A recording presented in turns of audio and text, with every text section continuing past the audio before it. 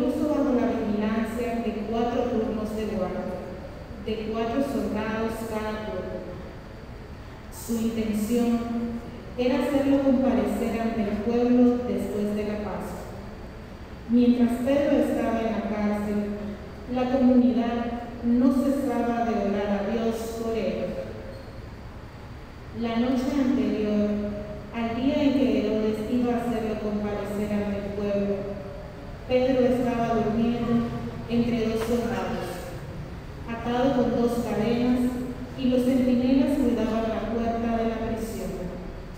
De pronto, apareció el ángel del Señor y el calabozo se llenó de luz. El ángel tocó a Pedro en el costado, lo despertó y le dijo, levántate pronto. Entonces las cadenas que le sujetaban las manos se le cayeron. El ángel le dijo, ciñete la túnica y ponte las sandalias. Y Pedro obedeció. Después le dijo, ponte el manto y sígueme. Pedro salió detrás de él sin saber si era verdad o no lo que el ángel hacía y le más bien que estaba soñando. Pasaron el primero y segundo puesto de guardia y llegaron a la puerta de hierro que daba a la calle.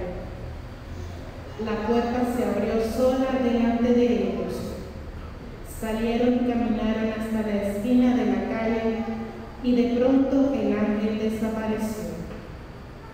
Entonces Pedro se dio cuenta de lo que pasaba y dijo, ahora sí estoy seguro de que el Señor envió a su ángel para librarme de las manos de Herodes y de todo cuanto el pueblo judío esperaba que me hiciera. Palabra de Dios. El Señor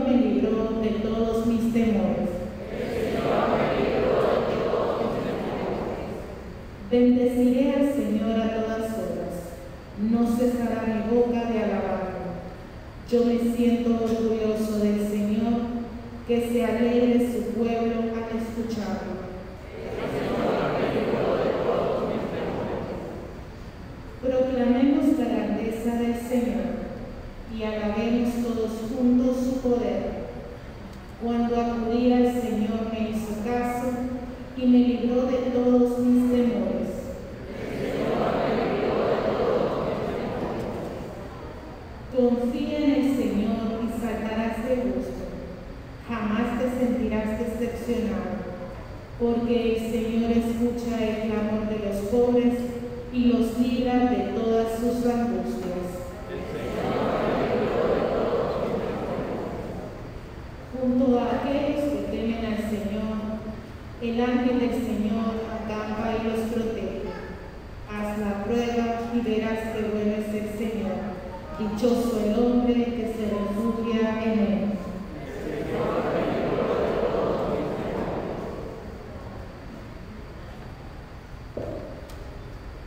Lectura de la segunda carta del apóstol San Pablo a Timoteo.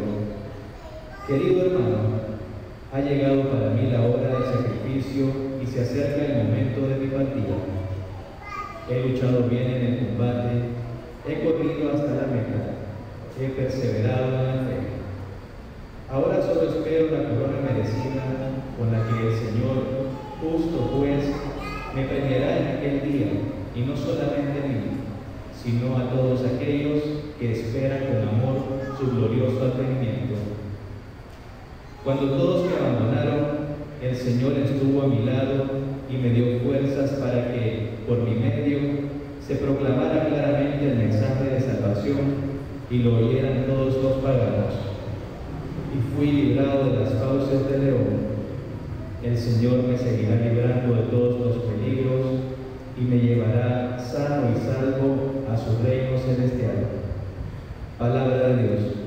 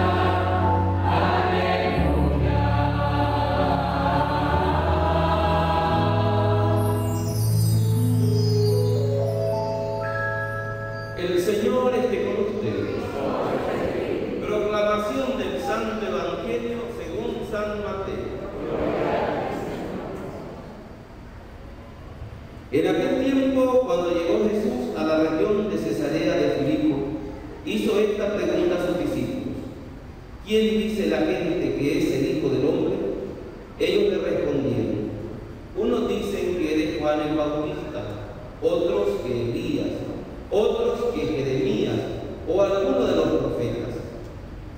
Luego les pregunto, ¿y ustedes quién dicen que soy yo? Simón Pedro tomó la palabra y le dijo, tú eres el Mesías, el Hijo de Dios vivo. Jesús le dijo entonces, dichoso tú Simón, hijo de Juan, porque esto no te lo ha revelado Padre que está en los cielos. Y yo te digo a ti que tú eres Pedro, y sobre esta piedra edificaré mi iglesia. Los poderes del infierno no prevalecerán sobre ella. Yo te daré las llaves del reino de los cielos. Todo lo que ates en la tierra quedará atado en el cielo, y todo lo que desates en la tierra quedará desatado en el cielo. Palabra del Señor.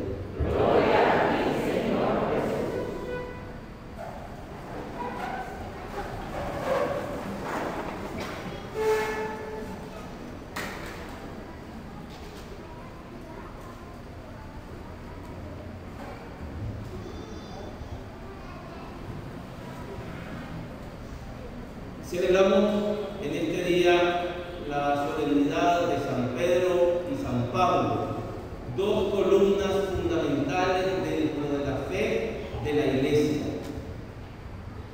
Nuestro patrono, San Pablo, es un santo a quien le debemos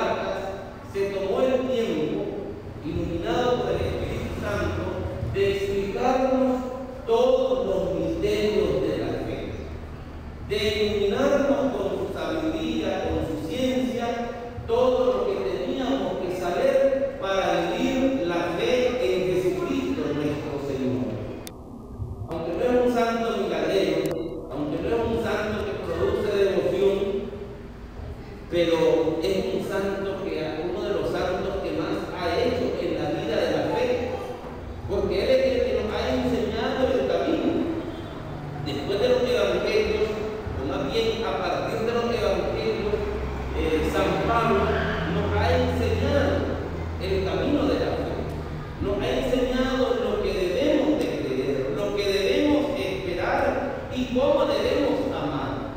Por eso es importante que nosotros en nuestra vida aprendamos a tener mayor simpatía con este santo, con este nuestro patrón, aunque no haga milagros, pero nos ilumina la fe, nos enseña el camino, nos enriquece espiritualmente, fortalece nuestra vida cristiana. Y a veces nosotros no hemos logrado ver la grandeza